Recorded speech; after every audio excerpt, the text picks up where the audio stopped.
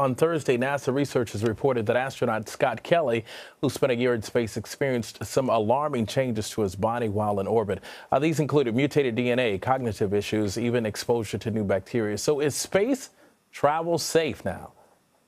Yeah, you know, it's interesting. The, the effects they're talking about were, to you and me, fairly subtle.